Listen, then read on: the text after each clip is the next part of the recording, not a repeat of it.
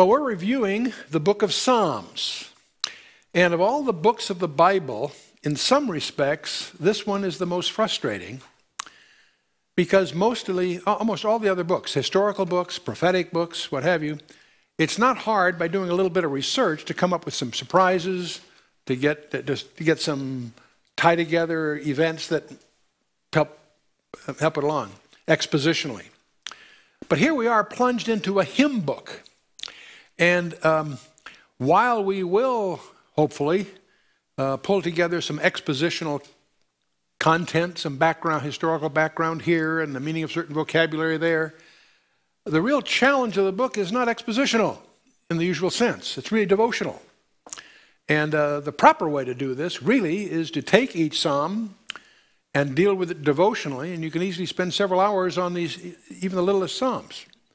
There's 150 of them. If we do that, we'll be, we don't end up with a recording product that's going to be very useful to many, because the people that should be immersing in them isn't the teacher, it's the student. What we really want you to do is get enamored enough with at least a few of these to really plunge into them. And when I say plunge into them, I don't mean just read them but to really immerse in them. One of the fascinating things uh, as I pull together research on the, on the Psalms is throughout history, how many of the great people that have made history, um, both in America and also Europe and elsewhere, were people who were immersed in the Psalms. A portion of the Psalms that were their favorite literature, bar none, favorite part of the Bible. And it's very easy to litter a talk with some notes of this guy and that guy and who held it dear. And I, have tried to not do too much of that because I'm not sure it's that helpful. I think what really want you to do is, uh, is how to em embrace the Psalms themselves. Um, so tonight we're going to take three of them and um, uh, uh explore them a bit. Okay, so we're in Psalm 49. To the chief musician, a psalm for the sons of Korah. And uh, Korah, of course, was the one that rebelled, and God took care of him. But his sons were not punished for that, and they become very prominent in the Levitical structure and the music, musical side of that. Verse 1 Hear this, all ye people, give ear, all ye inhabitants of the world. I want you to notice right away this is not a psalm for Israel alone. The, the, the psalm is addressed to all the inhabitants of the world. So it's got a little different flavor than most of these. It's not a psalm of David necessarily. Um, it's to the chief musician. It's a psalm, a, a song. Hear this, all ye people, give ear, all ye inhabitants of the world, both low and high, rich and poor, together. My mouth shall speak of wisdom, and the meditation of my heart shall be of understanding. In this psalm, which is to all people, the Hebrew term is a very unusual one it's for the total human scene. It's analogous to the word in the Greek called cosmos for all the world. And uh, so, and this is the way he addressed uh, uh, uh, uh his, peop his people when he first put them in the land, and 800 years later when he's about to put them out of the land. He uses this, this, this uh, strange term. I will incline mine ear to a parable. I will open my dark saying upon the harp. Now, there's that strange phrase we find in the Old English, a dark saying. The term there really is a term that today we would probably translate a riddle. Solomon was a, that was his primary hobby in Solomon's case, but this isn't Solomon. It's again, it's the dark saying. There's a riddle implied. There's a parable. There's a hidden meaning here. It implies. Next, wherefore should I fear in the days of evil? when the iniquity of my heels shall compass me about. Now, one of the questions, who's asking the question here? Is it the poor? Is it the rich? Is it you? Is it me? I'll leave that to you to chew on here. They that trust in their wealth and boast themselves in the multitude of their riches, none of them can by any means redeem his brother nor give to God a ransom for him. Salvation is not for sale. There's no price adequate to pay for it. And uh, none of them can by any means redeem his brother nor give God a ransom for him. That's a very key verse, verse 7. A very, very profound one. I normally don't quote from other commentators, but I can't resist lifting a little bit from Spurgeon. If you're collecting commentaries on the book of Psalms, Wiersbe is a great one. J. Vernon McGee has some great stuff. Uh, but the classic, three volume typically rendering, is A Treasury of David by Charles Haddon Spurgeon. But just here, just to give you on this verse, his, his comments were just irresistible. I had to include them. A king's ransom would be of no avail. A Monte Rosa of rubies, an America of silver, a world of gold, a sun of diamonds could be utterly contemned. O ye boasters, think not to terrify us with your worthless wealth. Go ye and intimidate death before ye threaten men, in whom is immortality and life. Spurgeon had, had a style like that. Continuing though, verse 8, for the redemption of their soul is precious and it ceases, ceases forever. What, uh, let me not uh, tiptoe around this. What has purchased redemption? The blood of Christ. But there's no conception that comes close to equaling that. It, all the wealth of the world can't, wouldn't be is of no avail but the blood of Christ has availed for you and I. And that's, that's already here in the Psalms, 800 years before the cross and all of that. That he should still live forever and not see corruption. Wow. For he seeth that wise men die, likewise the fool and the brutish person perish and leave their wealth to others. and someone died. Someone asked the attorney, how much did, what, what did he leave? You know what the answer was? Everything. Didn't take anything with him. In other words, whatever it is, you're leaving behind. That's not quite true, by the way. You can't take it with you, but you can send it on ahead. You can send it on ahead. Luke 16 will explain how that works. He, I love what Jim Elliot's, it's an oft quoted line. I finally tracked it down. He is no fool who gives what he cannot keep to gain that which he cannot lose. That's the real meaning of life. You know, we, we, we strategize, we career, we, we fight the battle, and, uh, uh, but we do it tactically. We stand back. The real issue is eternal. Are we living our lives in terms of the long term gain? He is no fool who gives what he cannot keep to gain that which he cannot lose. Moving on to verse 11.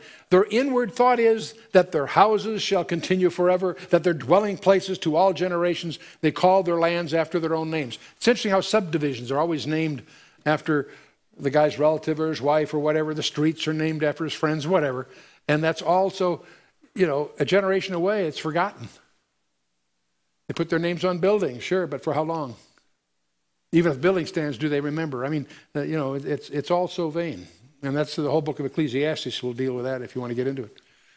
Nevertheless, man being in honor abideth not. He is like the beasts that perish. This is their way, this is their folly, yet their posterity approve their sayings. And uh, in other words, dust to dust has very few uh, exceptions, okay? The word Selah Many commentators think is a musical term. I don't think so. I think I side with Bullinger and others who believe it's a thought connector. Pause and the, uh, the translation I stumbled onto, I thought, quickly, what Selah means is think of that. It's a pause to connect what's, what's behind what's coming forward. It's a, a thought connector. Like sheep, they are laid in the grave. Death shall feed on them, and the upright shall have dominion over them in the morning and their beauty shall consume in the grave from their dwelling. But God will redeem my soul from the power of the grave, for he shall receive me. Selah. The word grave here, by the way, is an unfortunate translation. It really is the Hebrew term Sheol, the abode of the dead. The grave is a physical place. A person, you can own a grave. Somebody can own that piece of land that bury. You know, a grave is a tangible, physical repose of the remains. And so it's technically not a good translation because it's not the grave, it's the abode of the dead. No one owns Sheol. You can own a grave, you can't own Sheol. The, he, the Greek equivalent term is Hades, it's the abode of, of the departed. Redeem my soul from the power of the grave, for he shall receive me. And there again we have that Selah term. That's twice in this psalm, which is kind of interesting. And uh, so it says, Death shall feed them. What it actually, the Hebrew actually says is, Death shall be their shepherd. That's sort of a non starter, isn't it? Yeah. See, the real issue in, in uh, verse uh, 15 is what will you inherit at death? And by the way, it's not as simple as being saved or not being saved. If you're saved, you can't lose that. Christ did the whole thing. It's your security in Christ is certain, but your inheritance may not be. Your inheritance, your right to rule with him, if so be that you're a partaker. Many people will, are saved, they'll be in heaven, but they will have forfeited their inheritance because of the life they lived. Interesting. Think it, check it out. That's, that's not free of controversy, but I suggest you might take a look at all of that. Be not thou afraid when one is made rich, when the glory of house is increased. See, part of the under, ter, underlying term, uh, term through the psalm is why do the rich prosper? You know, that's a, that's a recurrent theme. That was the, the issue in Job. That is the issue uh, in the book of Habakkuk. Um, you know, it's, it's disturbing to someone that is God fearing is that why do the wicked prosper? And why are the good punished? You know, why, does why do bad things happen to good people, kind of thing? The very recurrent theme. Be not thou afraid when one is made rich, when the glory of his house increase. For when he dieth, he shall carry nothing away. His glory shall not descend after him. Though while he lived, he blessed his soul, and men will praise thee when thou doest well to thyself. He shall go to the generation of his fathers, and they shall never see light. Man that is in honor and understandeth not is like the beasts that perish. And so this is like evolution in reverse. Man is not as he's created, he's fallen. And he'll ultimately go the way of animals, but for the redemption. It's, so that's a little short Psalm 49. Let's take a look at the next one, Psalm 50. This is a psalm of Asaph, who is the musical, one of the musical directors there. And uh, this is the first one we've encountered of Asaph, a musician, and he was one of the three great song leaders of Israel at that time. Heman, Asaph, and Ethan were the three uh, top musical leaders. And uh, this will reveal God as the righteous judge, judges people, and to judge the wicked. So it sort of picks up from Psalm 49 in the same flavor. The mighty God, even the Lord, hath spoken and called earth from the rising of the sun to the going down thereof. Out of Zion, the perfection of beauty, God hath shined. Our God shall come and shall not keep silence. A fire shall devour before him, and it shall be very tempestuous round about him. He shall call to the heavens from above and to the earth that he may judge his people. Gather my saints together unto me, those that have made a, covenant with me by sacrifice, and the heavens shall declare his righteousness, for God is judge himself. Selah. Call to the heavens from above. He wants lots of witnesses. And this is all focusing on the covenant people, the people of the Jews, children of Israel. And uh, but verse six, it needs to be said that he, the Lord Jesus Christ will be the judge. John five twenty two says that the Father judgeth no man, but hath committed all the judgment to the Son. So even this is an Old Testament uh, perception here. Clearly, Christ is at the center of all of this. Continuing, Hear, O my people, and I will speak, O Israel, and I will testify against thee. I am God, even thy God. I will not reprove thee for thy sacrifices or thy burnt offerings to have been continually before me. I will take no bullock out of thy house, nor goats out of thy fold. What he's dealing with here is that the, the ordinances are not what God is interested in. It's the same flavor that he does to, that Jeremiah brings out in Jeremiah 7. In Jeremiah, he says, For I spake not unto your fathers, nor commanded them in the day that I brought them out of the land of Egypt, concerning burnt offerings or sacrifices. But this thing I commanded I them, saying, Obey my voice, and I will be your God, and ye shall be my people. And walk ye in all the ways that I have commanded you, that it may be well with you. What he's really saying, don't confuse these ceremonial ordinances with the reality of what I've really called you to do in terms of obedience to his way. That's what he's talking about and how easy it is for all of us to substitute ceremonies for substance. We do that in so many ways, always, always. Micah says a similar thing in Micah 6. Wherewith shall I come before the Lord and bow myself before the high God? Shall I come before him with burnt offerings and with calves of a year old? Will the Lord be pleased with thousands of rams or with ten thousands of rivers of oil? Shall I give my firstborn for my transgression, The fruit of my body for the sin of my soul? No. Micah 6 8, often quoted again and again.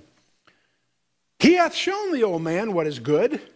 And what doth the Lord require of thee but to, walk, to do justly, and to love mercy, and to walk humbly with thy God? It says it all. Strip away the ceremony, strip away the, you know, the, the, the tapestries, the substance. What does the Lord require of thee but to do justly, to love mercy, and to walk humbly with thy God? Continuing in Psalm 50 at verse 10 For every beast of the forest is mine, and the cattle upon a thousand hills. See, God doesn't need us, He doesn't need our help. He gives us opportunities to praise Him and to offer these things, but He doesn't need them. For every beast of the forest is mine, every, and the cattle upon a thousand hills. I know all the fowls of the mountains, and the wild beasts of the field are mine.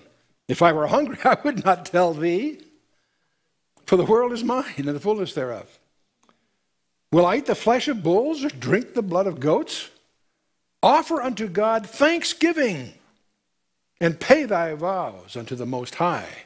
Call upon me in the day of trouble, and I will deliver thee, and thou shalt glorify me. But unto the wicked, God saith, What hast thou to do to declare my statutes, or that thou shouldest take my covenant in thy, in thy mouth? Seeing thou hatest instruction and castest my words behind thee, when thou sawest a thief, then thou contendest with him and hast been partaker with adulterers. Thou givest thy mouth to evil and thy tongue to frameth deceit. Thou sittest and speakest against thy brother and slanderest thine own mother's son. These things hast thou done, and I kept silence. Thou thoughtest that I was altogether such and one as thyself. But I will reprove thee and set them in order before thine eyes. Now consider this, ye that forget God lest I tear you in pieces and there be none to deliver. Whoso offereth praise glorifieth me, and to him that ordereth his conversation aright will I show salvation of God. And I highlight conversation is one of those six or eight words in the King James have a different meaning today. Conversation isn't talk, it's behavior, total behavior. So that's many of your Bibles will have that annotated, of course.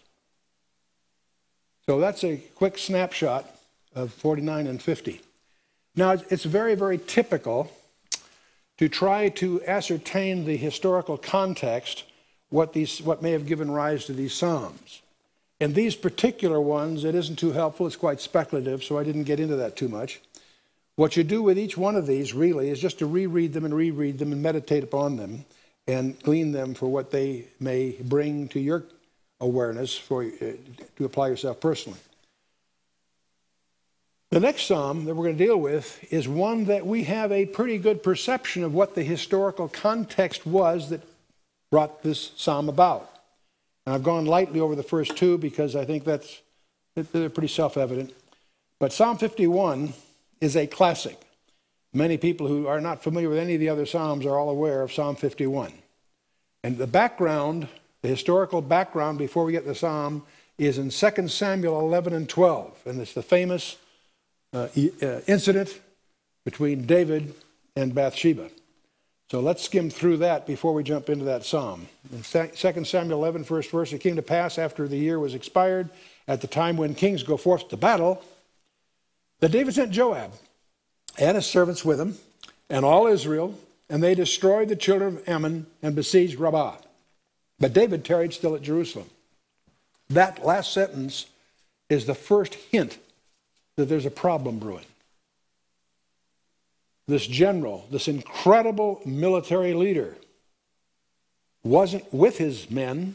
He sent Joab, the, the head of the host, captain of the host. He's staying in Jerusalem. That's not, not like David. He's kicking back. He's letting them do the, the fighting right, with Ammon and Rabbah. David tarried still at Jerusalem. And therein the plot begins. And it came to pass in an evening tide, that David arose from off his bed and walked upon the roof of the king's house. And from the roof he saw a woman washing herself. And the woman was very beautiful to look upon. Now, all kinds of speculations. Um, was she setting him up? Some suggest. Whatever. Was she really a stranger or had they met as a friend of the family? There are all kinds of nuances that some people will try to build upon, but we'll keep moving here and see what the, just what the text says. And David sent and inquired after the woman. And one said, Is not this Bathsheba, the daughter of Eliam, the wife of Uriah the Hittite? So she's a married woman. In fact, she's married to one of the mighty men. There's a core group, the top fighters for David. He was one of them, one of his most loyal troops. David sent messengers and took her. And she came in unto him, and he lay with her, for she was purified from her uncleanness, and she returned, and she returned unto her house. And the woman conceived and sent and told David and said, I am with child. Well, David's got a problem. Things, it's amazing how sin is never simple. Truth is simple, it's straightforward. Sin gets complicated. And sin begets sin after sin after sin. Anyway, David's got a problem. David sent to Joab, the captain of the host, saying, Send me Uriah the Hittite. They're, they're out there battling. Send, he wants Uriah to come home. Joab sent Uriah to David. When Uriah was come unto him, David demanded of him how Joab did, and how the people did, and how the war prospered. David said to Uriah, Go down to thy house, wash thy feet. Uriah departed out of the king's house, and there followed him a mess of meat from the king. So he gave him food, and he's hoping he'll go home, obviously. But Uriah slept at the door of the king's house with all the servants of his Lord, and went not down to his house. When they had told David, saying, Uriah went not down unto his house, David said to Uriah, Camest thou not from thy journey? Why then didst thou not go down unto thy house? And Uriah said unto David, The ark and the Israel and Judah abide in tents. And my lord Joab and the servants of my lord are encamped in open fields. Shall I then go into my house to eat and to drink and to lie with my wife? As thou livest, as thy soul liveth, I will not do this thing. David's, got, David's got a problem.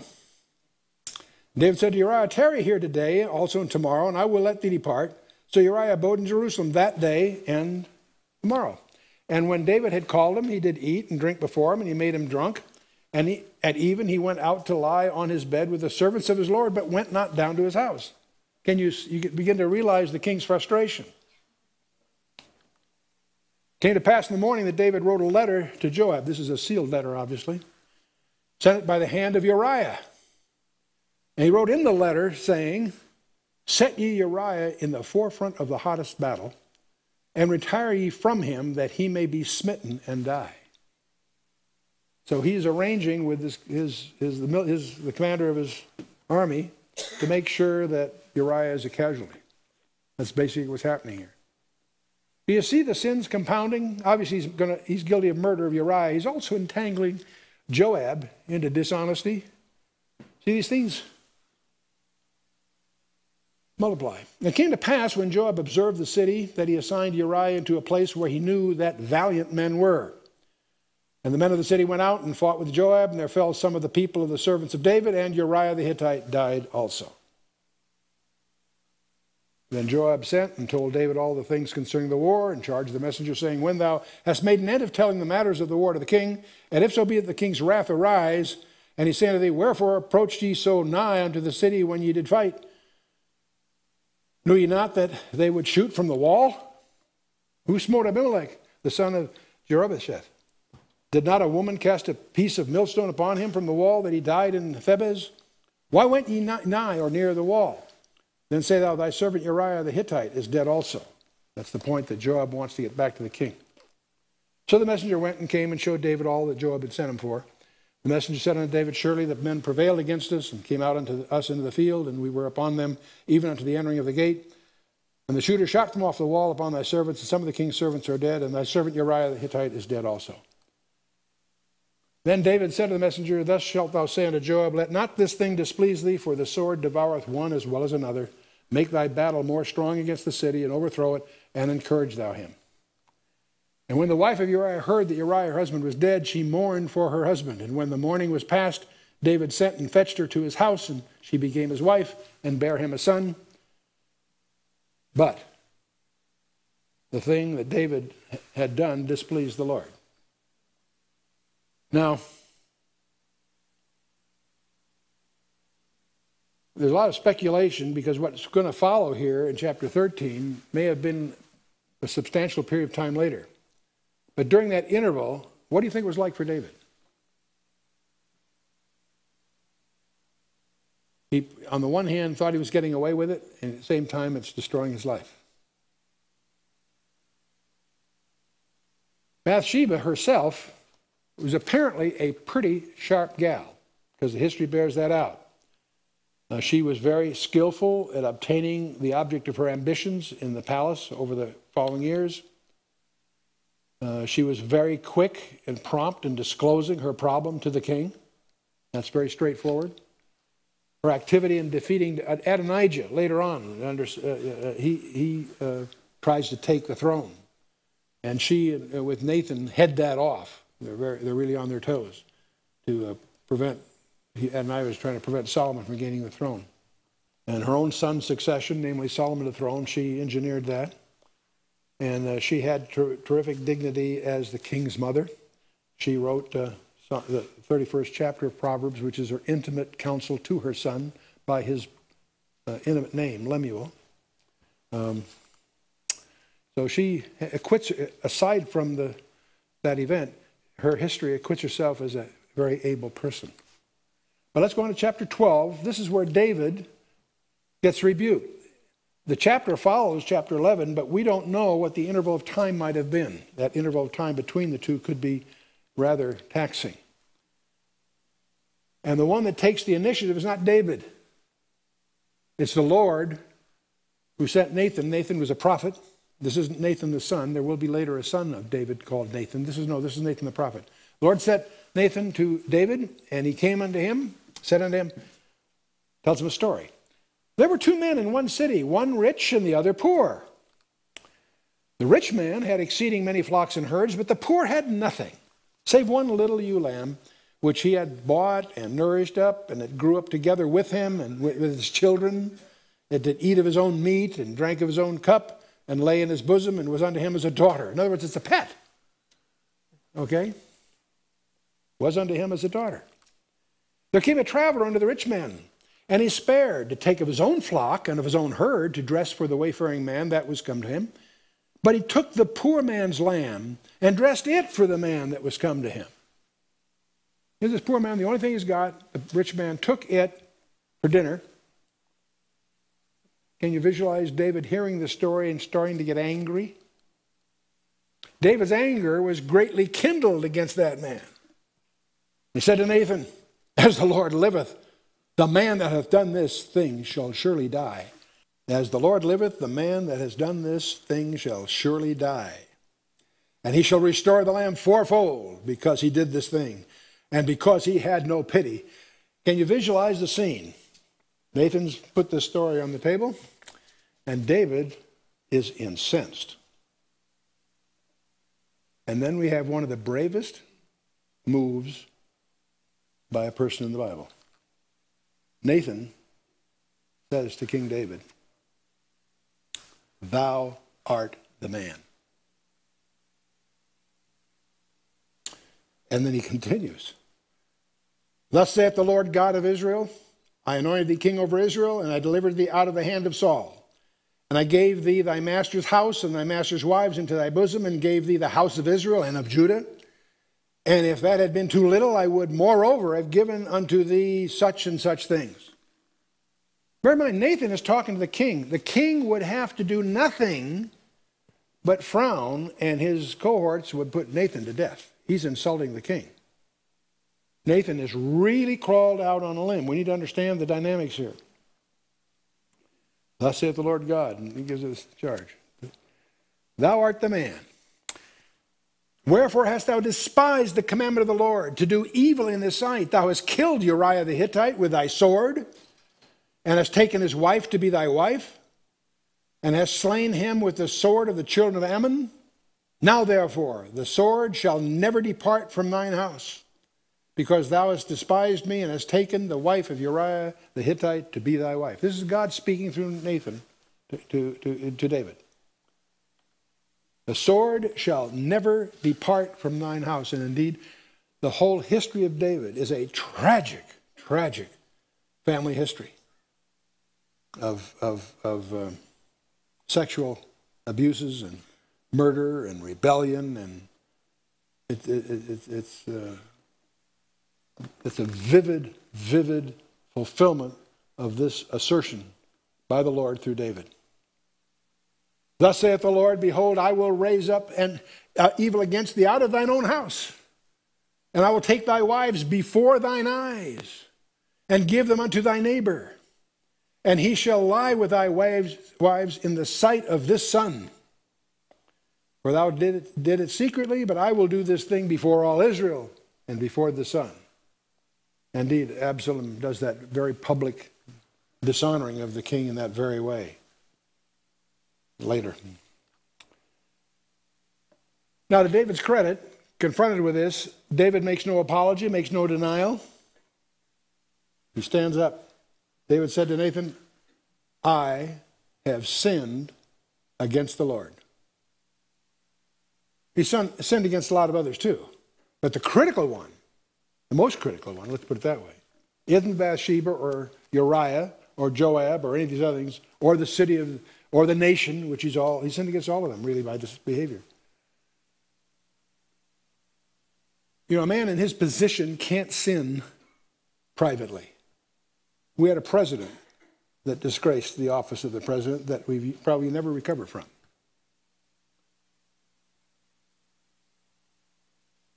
No, I have sinned against the Lord, David says. And Nathan said unto David, The Lord also hath put away thy sin. Thou shalt not die. He is, after all, the king, so that, they, that won't happen. Howbeit, because by this deed thou hast given great occasion to the enemies of the Lord to blaspheme, the child also that is born unto thee shall surely die. Interesting phrase. We hear this a lot. You know, when, when you do something against God, when you, when you disgrace your calling uh, uh, uh as a God fearing person, you create an occasion for the enemies of God, uh, enemies of God to blaspheme. Blasphemy is ra- bringing railing accusation, is, is, an equivalent term. And uh, we often overlook that. When you see a very prominent Christian uh, personage fall from grace by some public disgrace, the injury that he does to the image of God in the minds of the unbelieving is part of the sin, a very serious part of the sin. We're all on parade. We need to know that. We need to understand that. We'll do it imperfectly, but we need to understand that. And Nathan departed unto his house, and the Lord struck the child that, Uri- with, that Uriah's wife bare unto David, and it was very sick. David therefore besought God for the child, and David fasted and went in and lay all night upon the earth. And the elders of the house arose and went to him to raise him up from the earth, but he would not, neither did he eat bread with them. It came to pass on the seventh day that the child died. And the servants of David feared to tell him that the child was dead, for they said, Behold, while the child was yet alive, he spake unto them, and he would not hearken unto her voice. How will he then vex himself if we tell him the child is dead? You know, they think it's going to be worse. It's going to be just the other way around. When David saw that his servants whispered. David perceived that the child was dead. Therefore, David said unto his servants, Is the child dead? And they said, He is dead. Then David arose from the earth. He washed, anointed himself, changed his apparel, and came into the house of the Lord and worshipped. And then he came to his own house, and he required they set bread before him, and he did eat. While he was ill, he fasted and all that. But once the child died, cleaned up, business as usual, went back to work.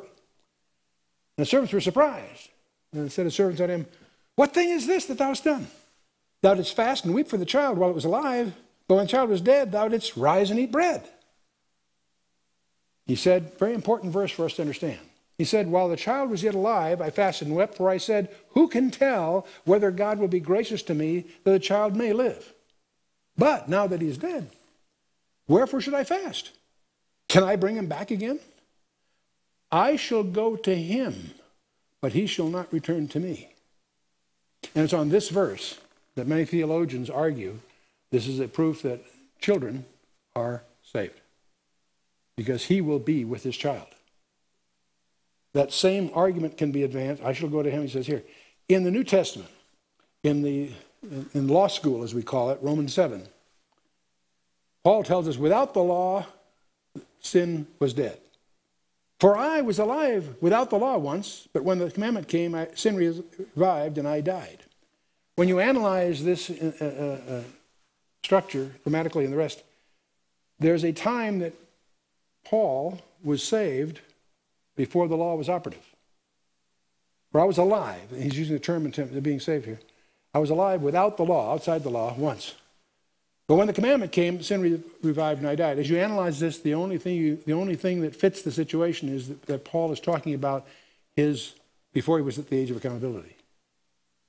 So again, theologically, theologians will build their case on these two verses that a child is saved. I happen to agree with that, but I want to point out that's not free of controversy. Some people argue different things, you know. But, but uh, be that as it may. Let's get back to uh, 2 Samuel 12. And David comforted Bathsheba's wife and went in unto her and lay with her, and she bare a son and called his name Solomon, and the Lord loved him. And he sent by the hand of Nathan the prophet, and he called his name Jedediah because of the Lord. So Solomon has several names.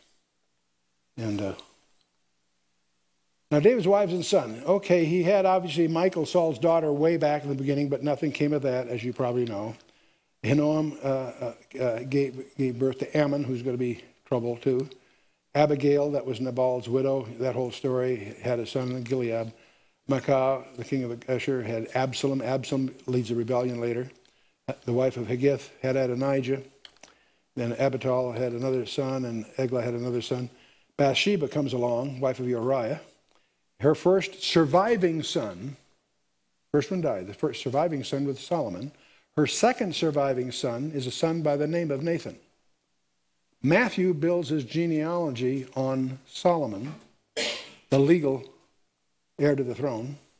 Luke, the doctor, takes the bloodline from Nathan to uh, prior to them both, they're identical, the genealogies in both Gospels.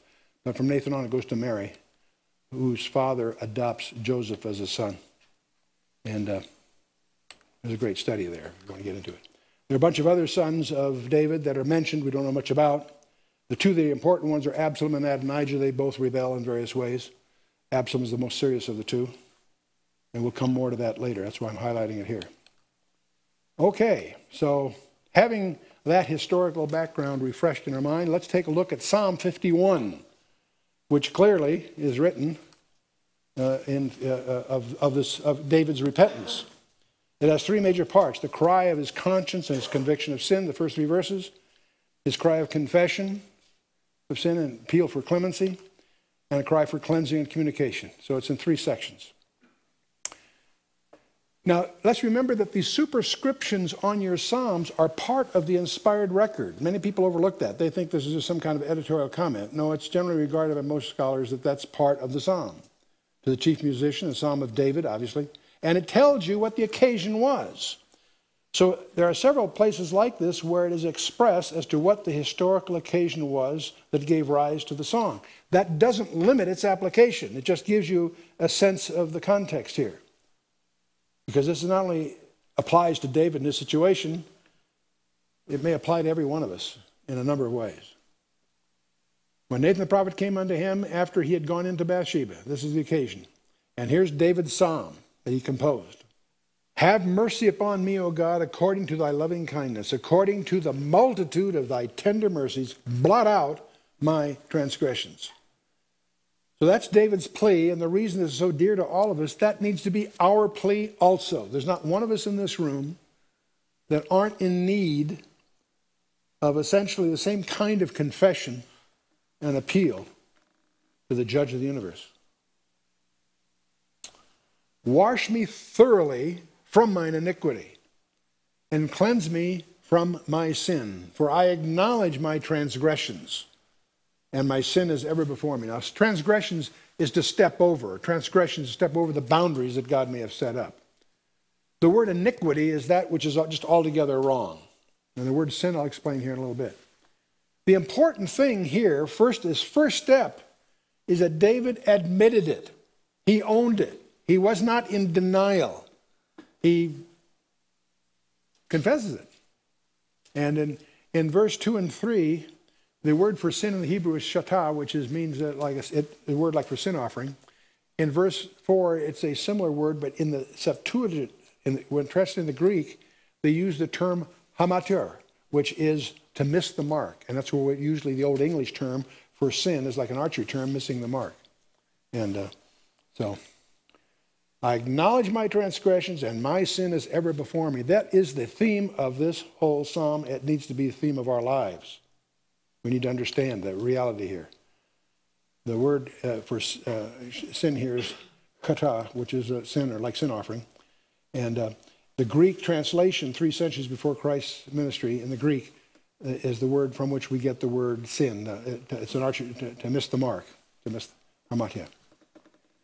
So that's the first three verses. Now we're going to go to the cry of confession of sin and appeal for clemency. David goes on and says, Against thee, thee only, have I sinned, and done this evil in thy sight. Thou mightest be justified when thou speakest, and be clear when thou judgest. And uh, this is a tough one because many people say, gee, wait a minute, what do you mean? He sinned against Bathsheba, he sinned against Uriah. Yes, indeed. They're all gone now. The critical one that eclipses all of that is God Himself that He sinned against. Not demeaning the others, but that's the one He's focusing on here. Romans 3:23, most popular verse, should be in our list of memory verses. For all have sinned and come short of the glory of God. Every one of us is in the same shoes as David. Sin against whom? Against Bathsheba? Of course. What could she do? He was king. Against Uriah, her husband, of course, he was murdered by deceit, skullduggery. Against Joab, by even involving him in this tryst and the rest. Against his family. I always get, I'm always amused by these discussions among some attorneys about victimless crimes. There's no crime that's victimless. All kind, you, you, you are sinning against anyone that loves you when you sin. Most of all, God Himself. It's against the community of Jerusalem. He was king. It's a sin against the community of Jerusalem. President Clinton, what he did to this country and the nation is absolutely irreparable. Against the nation in which he was king, but the real issue that eclipses all of this is against God himself, because he's the ultimate judge. And this is a sin against God, especially the way God had blessed David. And the way God has blessed every one of us in this room. Two things we need to really be guarded against ingratitude and presumption. Subtle, but deadly. David continued, Behold, I was shaped in iniquity, and in sin did my mother conceive me. Doesn't mean that it was sin that caused him to be birth. He means he's born in sin, he's born with it. We, you and I have a genetic defect. Not that we're HIV positive, we're SIN positive. Ecclesiastes 7:20, for there's not a just man upon the earth that doeth good and sinneth not. There's no one that doesn't sin. Proverbs 30, there's a generation that are pure in their own eyes and yet is not washed from their filthiness. Everybody thinks they're doing all right. Not so in Romans 3.23. That's probably the key of them all. For all have sinned and come short of the glory of God. You can find, we could concatenate probably another dozen verses that hammer the same thing all through, all through the Bible, from Genesis to Re- Revelation. The sin nature. Samuel Johnson said, Every man knows that of himself which he dares not tell his dearest friend. Well, if character is what you are when no one's looking. Seneca said, We must say of ourselves that we are evil, have been evil, and unhappily, I must add, shall also be in the future evil. Nobody can deliver himself. Someone must stretch out a hand to lift him up. This is not a new idea. Continuing in Psalm 51, David says, Behold, speaking to God, thou desirest truth in the inward parts, and in the hidden part thou shalt make me to know wisdom what's really going on the inside, not the outside appearances, what's really going on in the heart. And then this critical verse 7 Purge me with hyssop, and I shall be clean. Wash me, and I shall be whiter than snow. Make me to hear joy and gladness, that the bones which thou hast broken may rejoice. You know, you get the impression that David's coming from a very hard place. It's not like he was really comfortable, he really thought he'd gotten away with it. He's coming out of a time of huge depression. Whatever the interval was between the sin and being confronted by Nathan, it was an agonizing time of covering up. You get the impression that David, it was not easy. It not like he thought he'd gotten, really thought he'd gotten away with it. He knew he had, he, he, he was torn up. A Christian cannot be comfortable in his sin. Purge me with hyssop. What do we mean by hyssop? Well, if we go to Exodus 34, the, uh, God says in Exodus 34, verse 6, the Lord passed by, speak to Moses here, the Lord passed by before him and proclaimed, The Lord, the Lord God, merciful and gracious, long suffering and abundant in goodness and truth, keeping mercy for thousands, forgiving iniquity and transgression and sin, and that will by no means clear the guilty, will by no means clear the guilty, visiting the iniquity of the fathers upon the children, upon the children's children, unto the third and fourth generation. So God is a just God. That will by no means clear the guilty. He can't just pardon without it being paid for. That's the point. Socrates even recognized the paradox that's presented here. It may be that God can forgive sin, but I don't see how. That was Socrates' insight. If you got a just God, it's got to be someone's got to pay for it. You can't ignore it. Hyssop is the biblical term we see it all through the Bible. It's a hyssop is probably marjoram or it's a, a, herb that has a little hair. It's the kind of thing you can. It, it's useful for sprinkling things on. It was used to apply the blood to the doorposts during Passover. I want you to notice how hyssop is in the Bible always associated with the sprinkling of blood. It applied the blood to the doorpost during Passover. When in Leviticus, Leviticus 14, where they're dealing with the cleansing of a leopard, you had two birds. One was saw the blood of the one was put on the other and it was turned loose. A picture of the resurrection and the, and the shed blood and so forth. One dipped the blood of the other and, and was released, but what was the blood was sprinkled with the hyssop. Numbers 19, where the ashes of the red heifer was applied, it was with hyssop. And uh, Hebrews 9:19, it was used to sprinkle the blood on vessels and all the way through. It's a summary verse in Hebrews, Hebrews 9. When Moses spoke, uh, the writer of Hebrews points out, when Moses had spoken every precept to all the people according to the law, he took the blood of calves and of goats with water and scarlet wool and hyssop and sprinkled both the book and all the people, saying, This is the blood of the testament which God hath enjoined unto you. More we sprinkled with blood both the tabernacle and all the vessels of the ministry. Again, hyssop is tied to this idea of sprinkling of blood. And what does the blood refer to? What does the blood refer to? Blood of Jesus Christ in anticipation. Not the blood of bull and goats. It's, it's, it's, it's an exemplar. It's a tupos. It's a type of the blood that was shed on the cross. Hyssop. Sprinkled the blood. When you think of hyssop, it's used to sprinkle the blood. Hebrews continues, and almost all things are by the law purged with blood, and without the shedding of blood is no remission. That's the dilemma of Judaism today. There's no place to shed blood, and they know without shedding of blood, there's no dealing with sin. They've got a huge, huge fundamental problem. It was therefore necessary that the patterns of the things in the heavens should be purified with these, but the heavenly things themselves with better sacrifice than these. For Christ has not entered into the holy places made with hands, which are the figures of the truth, but into heaven itself, now to appear in the presence of God for us. And the writer goes on. Without the shedding of blood, is, there's no remission. It's astonishing to discover how many churches are embarrassed about mentioning the blood of Christ. Well, that's old fashioned. Indeed, it is. Praise God. Okay, and then the final section is the cleansing and communion. David continues, Hide thy face from my sins and blot out all mine iniquities. You see, David needed a spot remover. You and I have one. You want to know what your spot, where your spot remover is? It's 1 John 1 9. Write it down, memorize it. 1 John 1 9.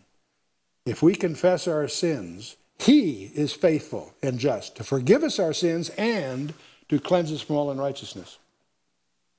1 John 1 9 is our spot remover.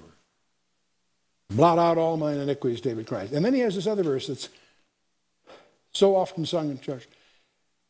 Create in me a clean heart, O God, and renew a right spirit within me. One of the most provocative words in that verse is the first word. The word in the Hebrew is bara, which means it's the same word that is in Genesis chapter 1. Bereshit bara Elohim and so on. In the beginning, God created out of nothing. Nowhere in the Bible do you find a heart being healed, a heart being uh, uh, cured. You always see a new heart being given. Why? Because of Jeremiah 17 9. The heart is deceitful above all things and incurably wicked, Jeremiah points out. So David's not asking to have his heart cleansed. He's not asking it for it to be repaired, improved, educated, enlightened. No, no, no, no. Create in me a clean heart. He's asking for regeneration. And renew a right spirit within me, or constant spirit within me. Second Corinthians 5:17, all things have become new in the believer. Key concept. Now, the next verse is one you and I cannot pray. Verse 11 doesn't fit us. It's a, he says here, uh, yeah, cast me not away from thy presence, take not thy Holy Spirit from me. Saul could sweat that. Saul had the Holy Spirit, was taken away from him. All through the Old Testament, the Spirit would come and go like the wind. The, the guy that really understood the Old Testament was a guy by the name of Paul. He was trained as a Pharisee under Gamaliel himself. And what stunned him to come to grips with in his epistles, he tries to get that across, is the fact that you and I have a gift that the Old Testament saint would have dreamed for, and that is that the Holy Spirit was given without repentance. That you are sealed by the Holy Spirit. That is not, that is a New Testament concept. And it was Paul's privilege to have that revealed to him and to communicate it. That's why the Ephesians chapter 3 and other many of many of Paul's epistles don't resonate with us because we're getting an answer and we don't know what the question is. The issue is that the, the, the sealing role of the Holy Spirit, that's distinctive to this peculiar people that God has called for what we call the ecclesia or the church. Not the physical church, the mystical church. Take not thy Holy Spirit from me, David says. Restore unto me the joy of thy salvation. Not restore the salvation. Many people misunderstand. No, re- restore unto me the joy of thy salvation. And uphold me with thy free spirit. Then will I teach transgressors thy ways, and sinners shall be converted unto thee. I love to ask this question How many of you in this room are saved? My next question is What have you done with it? David made a commitment. Then will I teach transgressors thy ways, and sinners shall be converted to thee. I won't ask you for a show of hands, or how many of you, how many people have you impacted? If you're any good, you probably have no idea. Because there's more than you probably have any idea. David continues, Deliver me from blood guiltiness, O God, thou God of my salvation, and my tongue shall sing aloud of thy righteousness. O Lord, open thou my lips, and my mouth shall show forth thy praise. Verses 14 and 15 are parallel. This is, we talked about, I've skipped all that tutorial front end this time because you've heard it before by review. But this whole idea of parallelism. They're saying the same thing a different way. Deliver me, and my tongue shall sing aloud. O Lord, open thou my lips, and my mouth shall show forth thy praise. For thou desirest not sacrifice, or else I'd give it. Thou delightest not in burnt offerings. That's it. So, a couple of questions for you to jot down and think about. What is the measure of your love? David poured his heart out in Psalm 51. He'd really blown it. He was in big trouble, but he stepped up to it. He didn't deny it. He admitted it. He confessed it, threw himself on God's mercy. What is the measure of your love? If I ask how many of you love God, I get all the hands. Sure, of course. But how, what's the measure of your love of God? It's the estimate of your own sins. How, how spiritually mature are you? Well, how much do you hate sin? When you hate sin as much as God hates sin. I'm not talking about hating the sinner. We get that backwards. We love the sin and we hate the sinner. No, no, it's the other way around. But when you hate sin the way God hates sin, then you're maturing, see? Is it possible that you do not confess your sins? Have you really confessed your sins before Him. When was the last time you wept over your sins? David wept over his sins. When was the last time you cried out in the night because of your failures before Him? There is forgiveness with Him, but there must first be confession on our part. Easy thing to jot down in notes, easy thing to give intellectual assent for, but do we really do it? David finally finishes up the sacrifice of God are a broken spirit, a broken and contrite heart. O God, thou wilt not despise. Do good in thy good pleasure unto Zion, build thou the walls of Jerusalem. Then shalt thou be pleased with the sacrifices of righteousness and the burnt offering and whole burnt offering, and then shall they offer bullocks upon thine altar. Uh, altar. And so is this couple of comments about David. David at his zenith was a, was a victorious warrior, clever general. He subdues the Philistines to the west. That was Saul's nemesis the Syrians and Hadadezer in the north, the Ammonites and Moabites in the east, and the Edomites and Amalekites in the south. All these traditional enemies were subdued under David's generalship. Sharp guy. He was a very constructive administrator. The scripture says judgment and justice for all the people were under his realm. We, we miss a lot of that. Because we focus on something else that certainly is also very important. Well, one other thing. He organized the priesthood into 24 courses. You need to understand that or you won't understand Revelation 5, the 24 elders and what that's all about.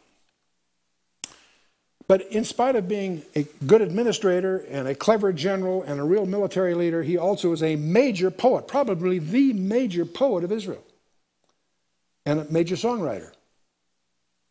We're struggling with 73 psalms that were penned by David, and some of the other anonymous ones may also have been are uh, ascribed to him. So he was their primary songwriter. Interesting guy. But his turning point was his great sin.